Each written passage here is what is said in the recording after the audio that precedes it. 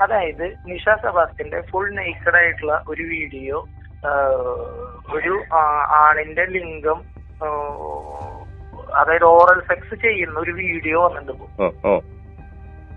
ആ video created ആണ് എന്ന് പറഞ്ഞിട്ട് ഇവരുടെ കൈ കഴുകാൻ വേണ്ടിയിട്ടാണ് ഇവർ ഈ ഒരു ഒരു ചിത്രീകരി ഒരു സംഭവം ചിത്രീകരിച്ച അതിൽ മറ്റേ കൊട്ടാരക്കര ഷാജിനെ മോനെ ഇത് അല്ലേ ഇത് പോലീസിന്റെ കയ്യിലുണ്ട് സ്പെഷ്യൽ ബ്രാഞ്ചിന്റെ കയ്യിലുണ്ട് ക്രൈം ബ്രാഞ്ചിന്റെ കയ്യിലുണ്ട്. ഈ വീഡിയോ ഒറിജിനൽ ആണ് ഫാബ്രിക്കേറ്റഡ് അല്ലാന്ന് അവർ കോടതിയിൽ പറഞ്ഞിട്ടുണ്ട്. പക്ഷെ ഒരു മാന്യനായിട്ടുള്ള ഒരാളെ സ്ത്രീകൾ കൂടി തല്ലി പൊതുവഴിയിൽ തുണി ഉരിയുമ്പോ ആൾ കേസിന് പോവില്ല നാളത്തേടായിട്ട് ഇവിടുന്ന് ഓടിപ്പോകുന്ന അവർ വിചാരിച്ചു. പക്ഷെ കർത്താവ് ഇതൊക്കെ കാണണ്ടല്ലോ കർത്താവ് നീതിമാനാണല്ലോ. അപ്പൊ അത്. കേസായി. ഇപ്പൊ ഇവർക്ക് അത് അപ്പൊ പതിനൊന്ന് പേര് റിമാൻഡിലായിരുന്നു എട്ട് കഴിഞ്ഞാൽ കഴിഞ്ഞ് അവർ പുറത്തേക്ക് ഇറങ്ങി. ഇനി അടുത്ത പ്രതികളെ കോടതി അറസ്റ്റ് ചെയ്യാൻ പറഞ്ഞിട്ടുണ്ട് ശരി ശരി ശരി. ആ ആ. എനിക്ക് തോന്നുന്നു നിഷ സെബാസ്റ്റ്യൻ ചിലപ്പോ ആളുടെ പരപുരുഷ ബന്ധം കണ്ടത് കൊണ്ടാവണം അദ്ദേഹം അങ്ങനെ പറഞ്ഞിട്ടുണ്ടാവുക. പിന്നെ അദ്ദേഹം രണ്ടായിരത്തി പതിനേഴ് മരിക്കുകയാണ് ഉണ്ടായത്. അപ്പോ നമുക്ക് പറയാൻ കാണാൻ പാടില്ലാത്ത പറയാൻ കൊള്ളാത്ത കുറെ ലൈംഗിക വൈകൃതങ്ങളുടെ ഒരു കൂടാരം തന്നെയാണത് പിന്നെ ഈ ചെറിയ കുട്ടികളെ ദുരുപയോഗം ചെയ്യുക അതിന്റെ കേസുകളൊക്കെ കോടതിയിൽ നടന്നുകൊണ്ടിരിക്കുന്നുണ്ട്. പിന്നെ രണ്ട് സ്ത്രീകൾ ഒരു പുരുഷനായിട്ട് അല്ലെങ്കിൽ ഒരു രണ്ട് പുരുഷനും ഒരു സ്ത്രീയും അങ്ങനെയൊക്കെ ആയിട്ടുള്ള സംഭവങ്ങളാണ്. പിന്നെ ഇവിടെ ഒരുപാട് പേരുടെ നഗ്ന വീഡിയോകളൊക്കെ വീഡിയോ എടുത്തു വെച്ചിട്ടുണ്ട്. അതെ ഇത് ചെയ്യുന്ന സമയത്തുള്ള വീഡിയോ ഉണ്ട്. പിന്നെ ഇത് ഇവർ കുളിക്കുന്നതും ഡ്രസ് മാറുന്നതൊക്കെ ഉള്ള വീഡിയോകളുണ്ട് ഇവരുടെ. ആ ക്യാമറ വെച്ചിട്ട് എടുക്കും. അപ്പൊ നിഷ സെബാസ്റ്റിന് ഇതിപ്പോ വേറെ പരപുരുഷ ബന്ധമുള്ളത് കൊണ്ടായിരിക്കണം. അത് പ്രതികരിച്ചത് കൊണ്ടായിരിക്കണം. ചിലപ്പോ അദ്ദേഹത്തിന്റെ മരണത്തിൽ കലാശിച്ചതും എങ്ങനെയാണെന്നറിയില്ല. മലയാളി വാർത്ത ഇൻസൈഡിലേക്ക് സ്വാഗതം. തൃശൂർ ജില്ലയിലെ ഇരിങ്ങാലക്കുടയ്ക്കടുത്ത് മൂര്യാട്ടെ എംബർ ഇമാനുവൽ എന്ന പ്രസ്ഥാനത്തിലെ കൂടുതൽ തട്ടിപ്പുകളാണ് മലയാളി വാർത്ത ഓരോ ദിവസവും പുറത്തുവിട്ടുകൊണ്ടിരിക്കുന്നത്. ഇവിടെ നടക്കുന്ന ലൈംഗിക വൈകൃതങ്ങൾ കേട്ടാൽ ആരിലും അറപ്പുളവാക്കും. രാത്രിയായാൽ ഒരു സ്ത്രീക്കൊപ്പം രണ്ട് പുരുഷന്മാർ ചേർന്നുള്ള ബ്ലൂ ഫിലിമുകളെ പോലുള്ള ലൈംഗിക വൈകൃതങ്ങളാണ് നടക്കുന്നതെന്ന് അവിടെ വർഷങ്ങളോളം അന്തേവാസിയായിരുന്ന ഇപ്പോൾ പുറത്തു കിടന്ന ക്ലീമി പുളിക്കൻ പറഞ്ഞു. ജോസഫ് പൊന്നാറയുടെ മരണത്തിലും ദുരൂഹതകളുണ്ടെന്നും അത് സഭയിൽ തന്നെ ചർച്ചയായതാണെന്നും ക്ലീമി മലയാളി വാർത്തയോട് വെളിപ്പെടുത്തി. ക്ലീമിയുടെ വാക്കുകളിലേക്ക്. അവിടെ ശരിക്കും എന്താ നടക്കുന്നത് ഇവിടെ നടക്കുന്ന സിയോൻ എന്ന് പറയുന്ന സംഭവം പൊന്നാറാണ് പൊന്നാർ ജോസഫ് എന്ന് പറഞ്ഞ ആളാണ് തുടങ്ങിയത്. പക്ഷെ അതീന്ന് ആൾ പറഞ്ഞേലും വിട്ട് വ്യതിചലിച്ച് ഇപ്പൊ നമുക്ക് പറയാൻ കൊള്ളില്ലാത്ത കാര്യങ്ങളെ കൊണ്ടാണ് അവിടെ നടന്നിരിക്കുന്നത് അതായത് പൊന്നാർ സാറ് തന്നെ ഒരു പ്രസംഗത്തിൽ രണ്ടായിരത്തി പന്ത്രണ്ടിന് ശേഷം പറഞ്ഞിട്ടുണ്ട്. ഒരാൾ ഡ്രൈവ് ചെയ്യുമ്പോ ഒരു വണ്ടി ഓടിക്കാൻ ഒരാൾക്ക് ഡ്രൈവ് ചെയ്യാൻ പറ്റുള്ളൂ. എന്നാൽ രണ്ടു പേര് ഡ്രൈവ് ചെയ്താൽ വണ്ടി ശരിയാവില്ല. അപ്പൊ അത് കാരണം ആദ്യത്തെ ആൾ മാറിപ്പോണം ഓ. അതുകൊണ്ട് ഈ സംഭവം ഒരാൾക്ക് മാത്രം ഡ്രൈവ് ചെയ്യാൻ പറ്റാവുന്നതായതുകൊണ്ട് ആൾ മാറിയും അപ്പോ എനിക്ക് തോന്നുന്നു നിഷ സെബാസ്റ്റ്യൻ ചിലപ്പോ ആളുടെ പരപുരുഷ ബന്ധം ഏഹ് കണ്ടത് കൊണ്ടാവണം അദ്ദേഹം അങ്ങനെ പറഞ്ഞിട്ടുണ്ടാവുക. പിന്നെ അദ്ദേഹം രണ്ടായിരത്തി പതിനേഴ് മരിക്കുകയാണ് ഉണ്ടായത്. അപ്പോ നമുക്ക് പറയാൻ കാണാൻ പാടില്ലാത്ത പറയാൻ കൊള്ളാത്ത കുറെ ലൈംഗിക വൈകൃതങ്ങളുടെ ഒരു കൂടാരം തന്നെയാണത്. അതിൽ സംശയമില്ല. പിന്നെ ഈ ചെറിയ കുട്ടികളെ ദുരുപയോഗം ചെയ്യുക അതിന്റെ കേസുകളൊക്കെ കോടതിയിൽ നടന്നുകൊണ്ടിരിക്കുന്നുണ്ട്. അതെ. പിന്നെ രണ്ട് സ്ത്രീകൾ ഒരു പുരുഷനായിട്ട് അല്ലെങ്കിൽ ഒരു രണ്ട് പുരുഷനും ഒരു സ്ത്രീയും അങ്ങനെയൊക്കെ ആയിട്ടുള്ള സംഭവങ്ങളാണ്. പിന്നെ ഇവിടെ ഒരുപാട് പേരുടെ നഗ്ന വീഡിയോകളൊക്കെ വീഡിയോ എടുത്തു വെച്ചിട്ടുണ്ട്. അതായത് ഈ തരത്തിലുള്ള ഇത് ചെയ്യുന്ന സമയത്ത് തന്നെ വീഡിയോകൾ എടുക്കും. അതെ. ഇത് ചെയ്യുന്ന സമയത്തുള്ള വീഡിയോ ഉണ്ട്. പിന്നെ ഇത് ഇവർ കുളിക്കുന്നതും ഡ്രസ്സ് മാറുന്നതൊക്കെ ഉള്ള വീഡിയോകളുണ്ട് ഇവരുടെ കയ്യിൽ ആ, ക്യാമറ വെച്ചിട്ട് എടുക്കും. അപ്പം ഈ- സംഭവം ഇതിന്റെ ഒരു സംഭവം എന്ന് പറഞ്ഞു കഴിഞ്ഞാൽ ഇപ്പോ ഈ അടുത്ത് ഒരു മാസം മുന്നേ ഡിസംബർ അവസാനത്തോടെ ഒരാളെ കുറെ സ്ത്രീകൾ ചേർന്ന് തല്ലണ ഒരു വീഡിയോ സമൂഹ മാധ്യമങ്ങളിൽ വൈറലായിരുന്നു. കൊട്ടാരക്കര എന്നുള്ള ഒരു ഷാജി ചേട്ടനെയും മോനെയും കുടുംബത്തെയാണ് അവർ ആക്രമിച്ചത്. അപ്പോ ഇത് അവരുടെ സ്ഥാപക ഈ പൊന്നാറിന്റെ വേറൊരു ഭാര്യ. ഒറിജിനൽ ഒരു ഭാര്യയും മൂന്ന് കുട്ടികളും ഉണ്ട് അദ്ദേഹത്തിന് അപ്പം ഇത് ഇവിടെ കണ്ട് പരിചയപ്പെട്ട് അങ്ങനെ ഇവർ കല്യാണം കഴിച്ചു എന്നൊക്കെ പറയുന്നുണ്ട് നമുക്കറിയില്ല. രേഖകളിലൊന്നുമില്ല. അപ്പൊ അവർക്കൊരു കൊച്ചു ഉണ്ടായിട്ടുണ്ടായിരുന്നു രണ്ടായിരത്തി പന്ത്രണ്ടിൽ അപ്പം ആ കൊച്ചിന്റെ ആദ്യത്തെ ജനന സർട്ടിഫിക്കറ്റിൽ ജോസഫ് പൊന്നാർ എന്നാണ് പേരുണ്ടായിരുന്നത് രണ്ടാമത്തെ അത് അപ്ഡേറ്റ് ചെയ്തു അവർ. അത് രണ്ടായിരത്തി പത്തൊമ്പതിൽ അപ്ഡേറ്റ് ചെയ്തപ്പോഴത്തേനും അതിൽ പിതാവിന്റെ പേരില്ല. അപ്പൊ നമുക്ക് അറിയില്ല എന്താ കാരണം അപ്പൊ അദ്ദേഹം ഈ സംഭവം അദ്ദേഹം വിചാരിച്ച പോലെയല്ല. പിന്നെ അദ്ദേഹത്തിന്റെ മരണശേഷം ഈ നിഷ സെബാസ്റ്റിന് ഇതിനെ കൊണ്ടുപോയിരുന്നു.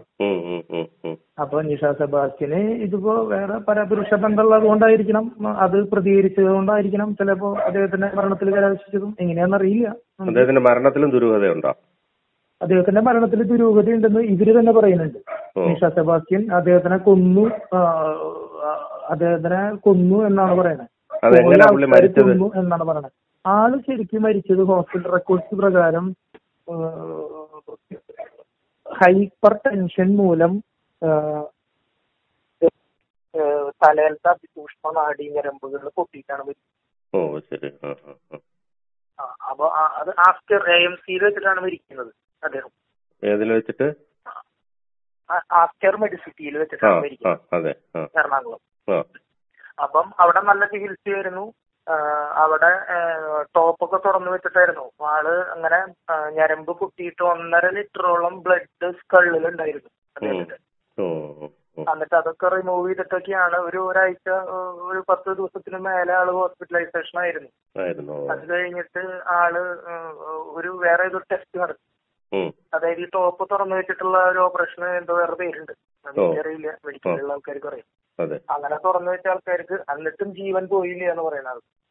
അപ്പൊ അത് കഴിഞ്ഞിട്ടാണ് പിന്നെ ആൾ മരിക്കുന്നത് അപ്പൊ ഈ സംഭവം അപ്പൊ ഇവർ പറയണത് എന്തിട്ടാന്നുണ്ടെങ്കിൽ നിഷാദത്തിനും കൂട്ടരും പറയുന്നത് എന്താണെന്നുണ്ടെങ്കിൽ അവരെ മുന്നിൽ പോയ ട്രസ്റ്റ് മെമ്പേഴ്സ് കൊലപ്പെടുത്തി എന്നാണ് പറയുന്നത് ഓ ശരി ശരി ആ ആ അതെ ആ ആ. അങ്ങനെ ഉം, ഉം. അപ്പൊ ഇത് ഈ സംഭവം ഈ അവിടെ ഈ ലൈംഗിക അരാജകത്വം കൂടുതലുള്ളത് കൊണ്ട് ഇവിടെ ഒരു കുഴപ്പമില്ല. ഇവിടെ എല്ലാവരും സമാധാനത്തിലാണ് സന്തോഷത്തിലാണ്. ദൈവം പറഞ്ഞ പോലെ ഞങ്ങൾ ചെയ്യുള്ളൂ എന്നൊക്കെ പറഞ്ഞിട്ടാണ് ഇവർ ഹൈലൈറ്റ് ചെയ്യണത്. എന്നിട്ട് ഈ പറയുന്ന വരുന്നവരെ മയക്കുമരുന്നെല്ലാം കൊടുത്ത് ലൈംഗിക വൈകൃതത്തിന് ഇരയാക്കും. ശരിയാക്കും അതൊക്കെ ഇവരുടെ പിന്നാമ്പുറങ്ങളിലാണ് ഇത് നടക്കണത്. ഇവർക്ക് മെയിൻ ആയിട്ട് വേണ്ടത് പൈസയാണ്. അതായത് നമുക്കുള്ളതൊക്കെ ഇവർ യേശുക്രിസ്തുവിന്റെ കാലഘട്ടത്തിൽ നിനക്ക് രണ്ടുള്ളവൻ ഒന്ന് ഉള്ളവന് ഇല്ലാത്തവന് കൊടുക്കട്ടെ എന്നാണ് യേശുക്രിസ്തു പറഞ്ഞിട്ടുള്ളത് എന്നാൽ അവരിപ്പോ പറയുന്നു നിത്യജീവ അപ്പൊ അങ്ങനെ യേശുക്രിസ്തുവിന്റെ അടുത്ത് ഒരു പുരോഹിതൻ വന്ന് ചോദിക്കുകയാണ് ഒരു ധനവാൻ വന്ന് ചോദിക്കുകയാണ് നിത്യജീവൻ കിട്ടാൻ ഞാൻ എന്ത് ചെയ്യാന്ന് ഉം. യേശുക്രിസ്തു പറയാണ് നിത്യജീവൻ കിട്ടാൻ അപ്പൊ പറഞ്ഞ പ്രമാണങ്ങളൊക്കെ അനുസരിക്കണം എന്ന് പറയാം. അപ്പൊ അദ്ദേഹം പറയും ധനവാൻ പറയും ഞാൻ പ്രമാണങ്ങളൊക്കെ ചെറുപ്പം മുതലേ വളരെ കറക്റ്റ് ആയിട്ട് അനുസരിക്കുന്ന ആളാണ്.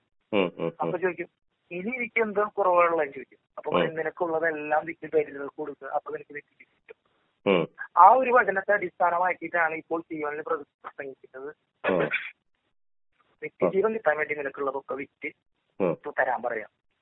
അപ്പൊ ഇവർ പറയണത് എന്താന്നുണ്ടെങ്കിൽ ഇവർ സിയോണിലത്തെ പാവങ്ങളെ സഹായിക്കാനാണ് അതിനാണ് ഇതിനാണ് രോഗികളെ സഹായിക്കാനാണ്.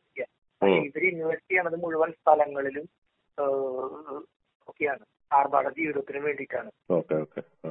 ഇപ്പൊ ഈ കൂടാരത്തിൽ നാൾ കഴിഞ്ഞിട്ട് നിശാസഭാസിനും കൂട്ടരും ഇപ്പൊ ടൂറിലാണ് ഒരാഴ്ചയായിട്ട്. അപ്പോ നമ്മളിപ്പോ ലളിത ജീവിതം എനിക്ക് തോന്നുന്നില്ല യേശുക്രിസ്തു അങ്ങനെ എവിടെയും ടൂർ പോയതായിട്ട് ഞാൻ ബൈബിളിൽ വായിച്ചിട്ടില്ല. അതെ അതെ ക്രിസ്തു പറഞ്ഞു എന്ന് പറഞ്ഞിട്ട് പഠിപ്പിക്കുകയും എന്നാൽ പ്രവൃത്തി വേറെ ആയിരിക്കുകയും ചെയ്തപ്പോഴാണ് ഞാൻ അതിനെ ചോദ്യം ചെയ്തത്. ഞാൻ രണ്ടായിരത്തി ഒമ്പത് മെയ് മുതൽ രണ്ടായിരത്തി പന്ത്രണ്ട് ആഗസ്റ്റ് ഒന്ന് വരെ ഈ വിശ്വാസത്തിൽ ഉണ്ടായിരുന്നതാണ് ഉണ്ടായിരുന്നു രണ്ടായിരത്തി ഇരുപത്തി ഒന്ന്. അപ്പം ഈ പന്ത്രണ്ടര കൊല്ലം ഞാൻ ഈ പതിനേഴ് വരെ കുഴപ്പമുണ്ടായില്ല. ജോസഫ് പൊന്നാർ പറയണ പോലെ കള്ളക്കേസൊന്നും കൊടുക്കാതെയായിരുന്നു. എന്നാൽ രണ്ടായിരത്തി പതിനേഴിന് ശേഷം പല പ്രമാദമായി സുപ്രീം കോടതിയിൽ വരെ എത്തിയിട്ടുള്ള കേസുകളുണ്ട് ഇവിടെ. ഒരു ചുങ്കത്ത് എന്ന് പറഞ്ഞിട്ടുള്ള ഒരാൾ. ജോൺസൺ ചുങ്കത്ത് എന്ന് പറഞ്ഞ ആൾ. മയൂഖ ജോണിയൊക്കെ ഹൈലൈറ്റ് ചെയ്തിട്ട് വാർത്തയൊക്കെ സൃഷ്ടിച്ച് അങ്ങനെ സുപ്രീം കോടതി വരെ പോയിട്ടുണ്ട് കേസ്. അവസാനം സുപ്രീം കോടതി തള്ളി. അത് ഇവർ തന്നെ സിയോണിൽ പ്രിന്റ് ഔട്ട് എടുത്ത പേപ്പറുകൾ അവിടുത്തെ ഏട്ടൻ എന്ന് പറഞ്ഞൊരു കൂട്ടായ്മയുണ്ട് അവിടെ കൊണ്ടുപോയി ഇട്ടു. അവർ പറഞ്ഞു ഇത് ജോൺസൺ ചുങ്കത്താണ് കൊണ്ടുവന്നിട്ടെന്ന് പറഞ്ഞിട്ടാണ് കേസിനൊക്കെ പോയത്. ഇത് സുപ്രീം കോടതി തള്ളി. എന്നിട്ട് ഈ ഇതിന്ന് ഇതിനെതിരെ വേറെ സാബു എന്ന് പറഞ്ഞ ഒരാൾ ഈ ചുങ്കത്തിന്റെ കൂട്ടുകാരൻ കൊടുത്ത കേസ് ഹൈക്കോടതി ഫയലിൽ സ്വീകരി അല്ല സുപ്രീം കോടതി ഫയൽ സ്വീകരിക്കുകയും ഇതിനെതിരെ കേസ് ഹൈക്കോടതി കേസ് എടുക്കുകയും ചെയ്തിട്ടുണ്ട്. മയൂഖ ജോണിക്കെതിരെ. ജോണി അത് കാരണം കൊണ്ടാണ് ഇപ്പൊ പ്രത്യക്ഷത്തിലൊന്നും വരാത്തത്. ജോണി എങ്ങനെ ഇതുമായിട്ട് ബന്ധപ്പെടുന്നത്? മയൂഖ ജോണി രണ്ടായിരത്തി പത്തിലാണ് വിശ്വാസത്തിൽ വരുന്നത്. ഇവിടെ വന്നിട്ടുണ്ട് ഇവിടെ. ആളിവിടെ ആൾ ഇവിടെ വിശ്വാസിയാണ്. ഇപ്പോഴും ലൈവാണ്. അവിടെ താമസിക്കുന്നില്ലെന്നുള്ളതേ ഉള്ളു അല്ലേ? ആൾ ഇപ്പൊ എവിടെയാ? കേരളത്തിന് പുറത്താണ് ആൾ അത് തന്നെ ഇവിടെ വന്ന് പോ വന്ന് പോവുകയാണ് ചെയ്യുന്നത് അല്ലേ? ആ വന്നു പോവും. എല്ലാ മാസം വരും ഇവിടെ. പിന്നെ വീട് സ്വന്തം വീട് ഇവിടെയാണ്. അവർ കണ്ണൂർ കോഴിക്കോട് അങ്ങനെയായിരുന്നു അവിടുന്ന് വിറ്റ് പോകുന്നതാ ഓ ശരി ശരി. ഇവിടെ വീട് വെച്ച് താമസിക്കുന്നതാ. Okay okay. ശരി ശരി. അങ്ങനെ. വേറെ ഈ പറഞ്ഞ പോലെ ഈ നിഷ ഈ പറയുന്ന പോലെ ഒരുപാട് ഒരേ സമയം രണ്ടും മൂന്നും പുരുഷന്മാരുമായിട്ട് അങ്ങനെ ബന്ധമുണ്ട് അല്ലേ? അതായത് ഈ സംഭവം ഇവർ ഈ കുറച്ച് സ്ത്രീകളെ വിട്ട് തല്ലി എന്ന് പറഞ്ഞല്ലോ. അതായത് നിഷ സെബാസ്റ്റിന്റെ ഫുൾ നേക്കഡ് ആയിട്ടുള്ള ഒരു വീഡിയോ ഒരു ആണിന്റെ ലിംഗം അതായത് ഓറൽ സെക്സ് ചെയ്യുന്ന ഒരു വീഡിയോ വന്നിട്ടുണ്ട് ആ വീഡിയോ ക്രിയേറ്റഡ് ആണ് എന്ന് പറഞ്ഞിട്ട് ഇവരുടെ കൈ കഴുകാൻ വേണ്ടിയിട്ടാണ് ഇവർ ഈ ഒരു ഒരു ചിത്രീകരി ഒരു സംഭവം ചിത്രീകരിച്ച് അതിൽ മറ്റേ കൊട്ടാരക്കര ഷാജിനി മോനെ ഇത് ആക്രമിക്കാനിടയായി. അതായത് ഇത് ഞങ്ങൾക്ക് അറിയാവുന്ന കേസല്ല എന്ന് പറഞ്ഞു. ഓ മനസ്സിലായി. അതായത് വ്യാജ വീഡിയോ നിർമ്മിച്ചു എന്ന് പറഞ്ഞുകൊണ്ട്. അപ്പൊ ഇവർക്ക് ഇവർക്ക് കൈ കഴുകുകയും ചെയ്യാം. ഞങ്ങളുടെ എല്ലാ വീഡിയോ എന്ന് പറയുകയും ചെയ്യാം. അതിന്. വേണ്ടിയിട്ടാണ്. ഓ പക്ഷേ എങ്കിൽ ഇത് പോലീസിന്റെ കയ്യിലുണ്ട് സ്പെഷ്യൽ ബ്രാഞ്ചിന്റെ കയ്യിലുണ്ട് ക്രൈം ബ്രാഞ്ചിന്റെ കയ്യിലുണ്ട്. ഈ വീഡിയോ ഒറിജിനൽ ആണ് ഫാബ്രിക്കേറ്റഡ് അല്ലാന്ന് അവർ കോടതിയിൽ പറഞ്ഞിട്ടുണ്ട്. അപ്പം അവരുടെ മുഖം രക്ഷിക്കാൻ വേണ്ടിയിട്ടാണ് ഇവർ ഈ തല്ല് നാടകം നടത്തിയത്. പക്ഷെ ഒരു മാന്യനായിട്ടുള്ള ഒരാളെ സ്ത്രീകൾ കൂടി തല്ലി പൊതുവഴിയിൽ തുണി ഉരിയുമ്പോ ആൾ കേസിന് പോവില്ല നാളത്തേടായിട്ട് ഇവിടുന്ന് ഓടിപ്പോകുന്ന അവർ വിചാരിച്ചു. പക്ഷെ കർത്താവ് ഇതൊക്കെ കാണണ്ടല്ലോ. കർത്താവ് നീതിമാനാണല്ലോ അപ്പൊ അത്. കേസായി. ഇപ്പൊ ഇവർക്ക് അത് കൊല്ലാത്തായി പതിനൊന്ന് പേര് റിമാൻഡിലായിരുന്നു. എട്ട് ദിവസം കഴിഞ്ഞ് അവർ പുറത്തേക്ക് ഇറങ്ങി. ഇനി അടുത്ത പ്രതികളെ കോടതി അറസ്റ്റ് ചെയ്യാൻ പറഞ്ഞേക്കാണ് പോലീസ്. ലൈംഗിക വൈകൃതങ്ങളുടെ ഒരു ശരി ഇപ്പൊ വിവാഹം കഴിക്കരുതെന്ന് പറഞ്ഞു. പിന്നെ ആരും പ്രസവിക്കരുതെന്ന് പറഞ്ഞു. അപ്പം. നിരവധി അബോർഷനുകൾ നടക്കുന്നുണ്ട്. അപ്പം ആർക്കും ആരുടെ വീട്ടിലും കയറാം എന്തും ചെയ്യാം. വിഷയമില്ല. അങ്ങനെ ഓ. കഴിക്കരുത് എന്ന് പറഞ്ഞു. കൊച്ചുങ്ങൾ ഉണ്ടാവാൻ പാടില്ല എന്ന് പറഞ്ഞു. അപ്പൊ പിന്നെ. എന്തും ചെയ്യാലോ? അതെ അതെ അതിന്റെ മറവിൽ മറവിൽ ആ ഒരു പ്രസംഗത്തിന്റെ ഇതിലാണ് അവർ ഈ വൈകൃതങ്ങളൊക്കെ ചെയ്യണേ ഓ ശരി ശരി. ഈ നിഷ സെബാസ്റ്റ്യൻ പറഞ്ഞ ഇവർ തല്ലും കൊല്ലും എന്ത് ചെയ്യും. ഈ തല്ലാൻ കിട്ടയിൽ മൂന്ന് മാനസിക രോഗികളുണ്ട്. അവരുടെ കത്തി കൊടുത്തിട്ട് വിട്ടത്. ആ കത്തി പോലീസിന്റെ കയ്യിലുണ്ട്. അതായത് കൊട്ടാരക്കരയുടെ മോൻ സാധന കുത്തി കൊല്ലാൻ പറഞ്ഞു. അതായത് മാനസിക രോഗികൾ കുത്തി കൊന്നു കഴിഞ്ഞ് കഴിഞ്ഞാൽ കേസില്ലല്ലോ. ഗുളിയെടുക്കുന്ന ആളുകൾ? ആനുകൂല്യം വെച്ചാ. കൊട്ടാരക്കര കൊട്ടാരക്കരയിന് മോനും അവർ കാറിൽ വന്നുകൊണ്ടിരിക്കുമ്പോ കാർ കാറ് തടഞ്ഞു നിർത്തി.